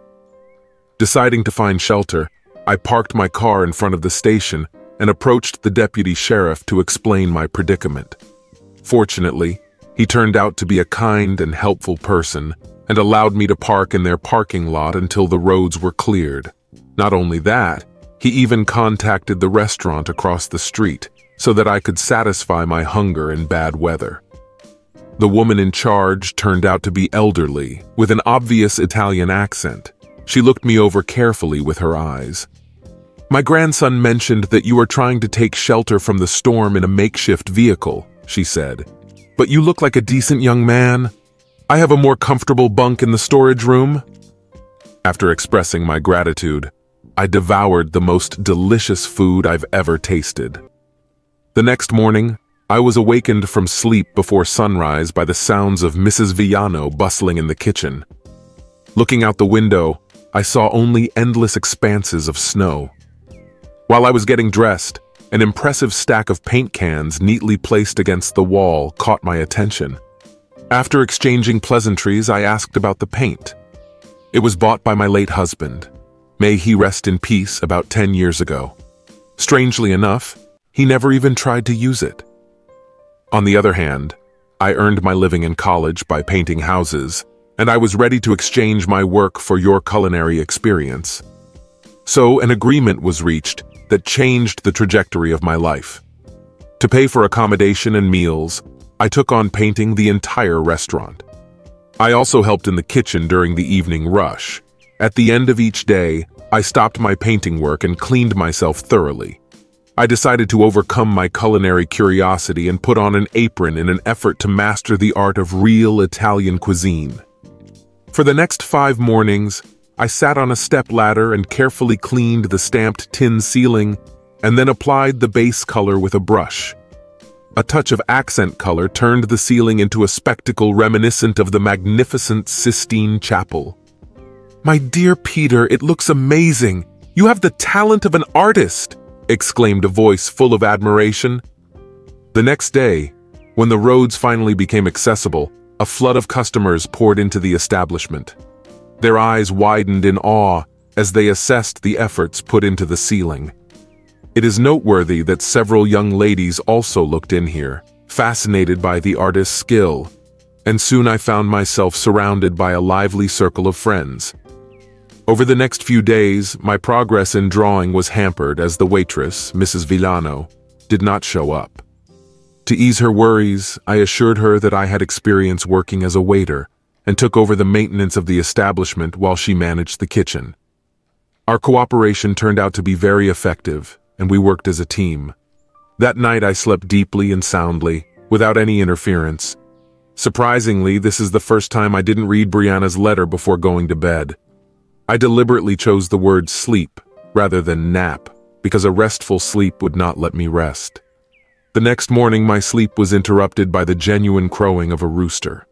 Later I found out that Mrs. Villano had deliberately woken up the rooster. During the quiet period between lunch and dinner, I sat next to her, striving to reveal her hidden talents. Mrs. Villano had a deep passion for singing, especially Italian love songs. Soon she made me join her melodious voice and sing along to her. Moreover, she took the trouble to teach me the art of speaking Italian while she was cooking in her kitchen. Surprisingly, I quickly mastered the language, which allowed us to have conversations in her native language. Although it might be a slight exaggeration to say that we communicated freely, I absorbed her every word, fascinated by her patient nature. The lessons continued to arrive, and with the onset of the spring season, we went on a trip to plant a charming herb garden together. In the autumn season, I mastered the art of winemaking and canning. Contrary to my own principles, I extended my stay here for a wonderful 18 months, immersing myself in the culinary arts and even adopting the eloquent speech of my mentor. As the spring sun warmed the day, I finally finished my latest masterpiece on canvas and confessed to Mrs. Villano that it was time for me to embark on a new journey. She graciously replied with a knowing smile. In honor of my departure, a farewell celebration was organized, surpassing in splendor what is usually reserved for triumphant leaders. Among the many gifts Mrs. Villano gave me were a carefully handwritten recipe book and a box filled with her exquisite homemade wine. Hugging me tightly for the last time, she put an envelope with a name and address in my hands. When you get to San Francisco, she instructed, find my cousin Anthony Tell him that you are the son I have always dreamed of. Intrigued by the prospect of exploration, I decided to embark on a leisurely sightseeing trip along an extended tourist route towards the captivating coast. By the will of fate, I was even lucky in Reno, known as the largest small city in the world, where I managed to save up a few extra dollars. In addition, I made a symbolic gesture by spitting into the vast expanses of the Grand Canyon. A few weeks later, while enjoying a delicious lunch at the Fisherman's Wharf, I was thinking about my recent adventures. The next morning, I arrived at the destination indicated on the envelope, looking forward to discovering the secrets that awaited me ahead. Located among two dozen other charming Italian restaurants, this diner stood out as a real gem. Located in the heart of Nob Hill, it seemed like the ultimate destination for lovers of Italian cuisine. The alluring aroma of the surroundings filled the air, reminding of a heavenly culinary paradise. But as I approached the restaurant, I noticed that it was dimly lit, which gave it a certain mystery. Deciding to enter, I knocked lightly on the door. A moment later, a short, bald gentleman dressed in white cautiously looked out of the kitchen and rudely exclaimed, We are not open. Not calming down, I persistently knocked again, This time the door swung open, revealing an impatient man. Curious, he asked, what do you need? Handing him the envelope, I calmly replied, It's high time you got this. Suddenly he spoke in Italian, urgently addressing his boss. A man has arrived who seems to have all the knowledge. Tony looked at the note and burst into uncontrollable laughter. They didn't seem to know about my ability to understand Italian, as Tony continued to read the letter aloud. Surprisingly, my eccentric cousin suggested that I put my kitchen at the disposal of this stranger and let him demonstrate his culinary skills. All the staff burst into fits of laughter and started throwing disparaging remarks, wondering how a man who seems as simple as white bread could cook like one of them. I preferred to keep this revelation to myself. Tony's attention shifted to a huge cardboard box and two bulky shopping bags lying next to me. Curious, he asked, What's he got there, Chief? When I got settled in my new place, the employees began to tease me in Italian, as if greeting me. It turned out to be a gift from Mrs. Villano, who handed me the box. Curious, I opened it and found four bottles of her homemade wine. Tony, one of my colleagues, asked for a glass and began uncorking one of the large bottles. He poured just enough to taste, then filled a glass and took a sip. Intrigued, he asked who made this exquisite wine. The bottle went around the whole room, giving everyone the opportunity to try. Mrs. Villano taught me how to make this wine last fall. If my culinary skills matched the quality of this wine, perhaps I would have been accepted as a valuable addition to the team. Tony called his daughters, and then I had the pleasure of meeting Gina and Anna Maria, two exquisite twins with impeccable beauty and luxurious dark hair that seemed straight out of a dream. My words stumbled as I tried to express my delight at meeting them. Anna Maria smiled graciously and replied, It's nice to meet you too. But there was hostility in Gina's gaze and she coldly remarked, So this is a famous chef from Colorado. There was laughter from behind me, and then a mocking voice proclaimed, The legend itself! Ha! He's a legend! A wave of laughter swept through the room. And so, I got my nickname during a special ceremony. Tony, speaking in Italian, said, Okay, let's see what the legend can come up with. Despite my doubts, I believe in my cousin. Tonight, the people of San Francisco will be judging his culinary skills. Gina was looking at me, her eyes full of anger. I understood every word she said. My smile inadvertently revealed my secret. She hurled a barrage of Italian insults at me, but I defended myself in her native language. The kitchen staff watched our heated verbal altercation with awe. In the end, Tony intervened and asked us to leave it for later. Boy, she hissed, looking at my feet. He'll be lucky tomorrow if he just does the dishes. Then she hurled a stream of curses at me, after which she ran away. Tony chuckled and remarked, I think she really likes you. And now let's get to work. You will be responsible for preparing the soup and two specialties for tonight. Picking up my bags filled with an assortment of fragrant herbs and spices, I quietly said a prayer and warmly greeted my devoted staff. That evening the air was filled with the melodious sounds of Italian conversation. It was on this evening that I proudly presented my signature dish, cioppino, a real Italian fisherman's soup soaked in the subtle aroma of freshly caught Dungeness crab. In just an hour, all the aspic scallops, shrimps, and clams were completely sold out. Soon after, my linguine alla moche, a delicious dish of Dungeness crab caught right within sight of the city, ran out. The highlight of the evening was when the waiter informed me that two customers had almost got into a heated argument over the last portion of my homemade gnocchi with basil pesto. Tony, overwhelmed with joy, came into the kitchen and hugged me tightly. Meanwhile, Marie said that this night marked the birth of a legend. But Gina stayed in her office, diligently keeping financial records. Despite the fact that one of the waiters brought her samples of both dishes, she remained silent. Grateful for this gesture, I expressed my gratitude to everyone in the kitchen, feeling that I had finally found a place that I could call home. The only thing I had to do was introduce music and encourage my team to sing while working. As Mrs. Villano always claimed, Music can enhance the taste of food. The Winston family made their fortune through real estate, and the patriarch, Charles Winston I, specialized in acquiring confiscated real estate. During the Great Depression, he acquired many farms, although some claim that his methods bordered on theft.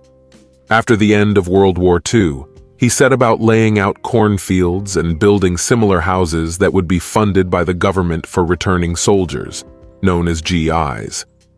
Each house was an exact replica of the others, except for the color of the tiles and shutters. Charles Winston II, Dash, an elderly gentleman who categorically asked not to be called Junior, continued the family legacy by investing in various farms around the city during the difficult period of the OPEC recession in the early 70s. In the late 80s, he waited patiently, watching the real estate market until it reached its peak. A sudden surge in demand led to the appearance of construction trailers, and then to the appearance of standard houses and an influx of funds. Without delay, KV III and Brianna decided to tie the knot. Unfortunately, their honeymoon in a tropical paradise did not go as expected. They both got sick because of an intestinal parasite, which contradicted the promises made in the brochure. The resort quickly denied all responsibility, saying the couple had ignored their warnings against eating from beach vendors. After their return, the confident young man quickly arranged a meeting. With a decisive step, he announced his intention to steer the company in a new direction. Although the era was laudable, it is obvious that the time for caution has passed. Now we are taking a more decisive approach, and immediately. We must actively look for farmers who want to sell their land. Unfortunately, KV III did not inherit his father's astute business sense and far-sighted thinking. Instead, he showed traits of narcissism and selfishness, believing that he had superior knowledge compared to everyone else. Unable to restrain himself, he began buying up farmland at inflated prices, ignoring historical precedents. In the 2000th year when the real estate bubble collapsed, he accumulated a significant amount of debt, mortgaging all his property. The Great Recession that followed had a stifling effect on the economy, forcing people to refrain from buying new homes. While others perceived this situation as unpleasant and pulled away, KV, on the contrary, saw an opportunity. Despite the circumstances, he decided to borrow even more money to acquire his largest competitor, as a result of which he got more than 500 vacant acres of land and more than 50 houses that are currently being built. But then he faced a serious problem, the lack of buyers. Despite relentless attempts to sell his stocks using all possible tricks, he was unable to attract a single interested buyer. Due to the receipt of numerous mechanical bills from contractors who were not paid, mail began to accumulate rapidly. Alarmed bankers noticed how sharply the value of their collateral had fallen and urgently contacted the man to demand full payment on his outstanding bills. Despite the difficult situation, the man remained optimistic and believed that he would be able to cope with difficulties. In an attempt to mitigate the consequences, he decided to liquidate all his assets, including a modest portfolio of shares that he inherited. Moreover, he even cashed out his insurance policies. As a last-ditch measure, he resorted to emptying the safe deposit box and retrieved all of his mother's jewelry. Unfortunately, these efforts were not enough to get rid of his creditors for at least a month. On the day when creditors were about to seize his house, he decided to drown his grief in a glass of scotch. With a heavy heart, he took out his father's valuable 12-gauge shotgun from the armory and tragically passed away. Later, the heartbroken family discovered that his coffin would not open during the wake, which aggravated their already incredible suffering. A few minutes before the sheriff's deputy arrived to hand over the eviction papers, Brianna stumbled upon this horrifying scene. She couldn't help but think that this was the most terrible day of her life. She did not know that the future held even more difficulties for her as the truth about her late husband's financial misdeeds was gradually being revealed. When my sister's wedding day was approaching, she insisted that I fulfill my promise. Although I wanted to attend her wedding, there was an obstacle in my way. Brianna, my ex-girlfriend, turned out to be the groom's cousin and was supposed to attend the wedding with her mother. It's been over five years since I last saw her, and I wasn't going to cross paths with her anymore. Despite my reluctance, my sister's determination finally got to me. As a result, I had to take a day off and go to Chicago. By that time, I was working out regularly at the fitness club, and I couldn't deny that I looked amazing in a tuxedo. The limo driver arrived flawlessly. A group of grooms and bridesmaids crowded outside the church, eagerly awaiting the arrival of a traveling brother who had been missing for five years. When I got out of the car, I heard the sounds of an organ. I was accompanied by Gina and Marie, my charming companions for the evening. These stunning twin sisters were dressed in exquisite designer dresses that accentuated their flawless figures. Decorated with thigh-high slits, their outfits revealed elegant lace stockings. A month before that, I informed them that I would not be able to attend the event because I did not have a date. To my surprise, they both kindly offered to accompany me and pretend to be my partner. I jokingly expressed my dilemma, admitting that I love them both equally and can't choose between them. Gina, the slightly older twin, cleverly suggested that I change my card with the answer plus one to plus two. Marie enthusiastically supported the idea, saying it was a unanimous decision. My sister curiously asked who was the third person on my answer card. In response, I playfully suggested that she would have to get married herself to find out the answer. While the wedding party watched in amazement, I proudly led one stunning woman by the hand, guiding them to the family bench of the bride. My mother's expression was absolutely priceless. Oh my god, they looked just great, from the sudden movement, many heads turned sharply, perhaps having received minor neck injuries, as they tried to make out the brother who had been gone for so long, confidently striding to the altar. Flashes from various cameras illuminated the entire scene, capturing the moment from almost all sides. A group of old school friends couldn't contain their delight, and burst into applause and booing as we passed by. Among the crowd, I noticed Brianna sitting next to her mother. Unfortunately, time has not been kind to her appearance. She had gained at least 60 pounds, which was noticeable from her appearance. There was an expression of confusion on her face, and her complexion was pale. Before returning to their role of escort, both of my companions kindly kissed me. When the wedding march started playing in Oregon, we started our march. Denai made an additional request to us. She asked me to make a toast before dinner.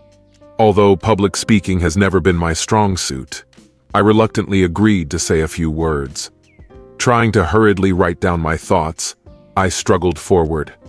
But in the midst of my disappointment, an elderly couple sitting alone at the groom's table caught my attention.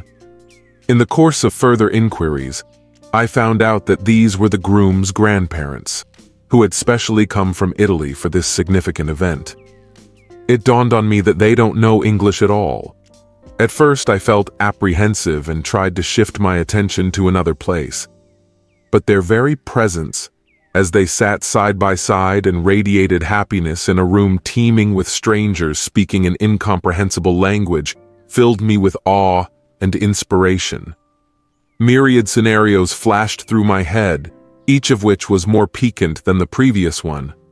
Instead of baffling Brianna and asking her about the till death do us part oath, I chose a more noble approach. Speaking in perfect Italian, I respectfully asked the elderly couple to get up from their seats. I hugged them warmly and invited the entire audience to raise a glass to these wonderful people who have now become an integral part of my own family. The audience burst into applause, and I turned to Brad and Wendy, urging them to join me on stage. There was silence in the crowd. Curiosity filled the air, and everyone wondered about my intentions. Keeping calm, I asked both of them to extend their right arms forward. When our father was on his deathbed, he told my sister to put her hands in mine. Then he carefully wrapped his weakened arms around ours. With what little strength he had left, he squeezed our hands tightly and said, I apologize for not being able to witness the end of your life. That's why I'm entrusting this responsibility to your brother, Peter. Peter, you will become Wendy's closest companion, her guiding light and protector. I beg you not to disappoint me. Today I am passing on this sacred duty to your husband, John. John, I'm connecting your soul with Wendy's. From now on, you are inseparable. You will be her confidant, mentor, and guardian. Make room for Gina and Anna Maria, the life of the party. Don't let me down, we need your protection, she urged. The crowd cheered, their enthusiasm filling the room. But amid the jubilant atmosphere, Brianna stood in tears, finding solace in her mother's arms. As the evening went on and we sat down to dinner, a quartet came on stage and performed a medley of songs for us. Although the music wasn't terrible, it lacked exciting vocals, which left much to be desired. Sensing an opportunity, Gina and Anna Maria took my hands and led me around the dance floor, deciding to bring some energy to the performance. They pulled the microphone off the stand without hesitation, pushing aside the guitarists and the drummer. Grinning mischievously, Gina challenged the keyboard player to keep up with our impromptu antics. In a moment of high spirits, Gina's voice boomed out of the speakers, and she proudly announced, Ladies and gentlemen, we present to you a legendary performer who has just completed a triumphant three-year performance in San Francisco. The banquet hall exploded with delight, our rich experience of singing together in a restaurant came in handy when we began a two-hour serenade of heartfelt love songs dedicated to my sister and her newly married husband. The angelic harmony of Gina and Emery fascinated everyone present. To complement the joyful atmosphere, we persuaded the groom's grandfather to perform an incendiary tarantella dance, and the groom gracefully spun his grandmother on the dance floor. Day, standing next to her beaming mother, couldn't contain her happiness. When we finally took a well-deserved break, my ex-mother-in-law came up to me with a friendly look. Peter, can I talk to you for a minute? Good evening, Mrs. Bennington. Brianna was hoping to get a chance to talk to you, but it seems like you were hard to find. She wants to apologize and ask for your forgiveness. Mrs. Bennington, that's not necessary. Mrs. Winston's words have been meaningless to me for many years. Peter, please don't be like that. Just talk to her. I won't do it, but there is something I would like to convey. I rummaged in my wallet and took out a tattered piece of paper.